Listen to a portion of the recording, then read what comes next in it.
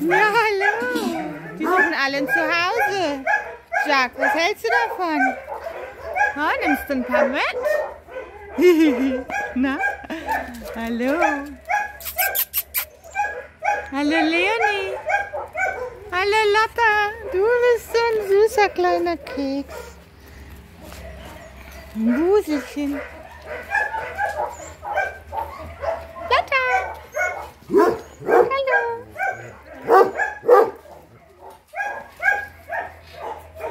Hey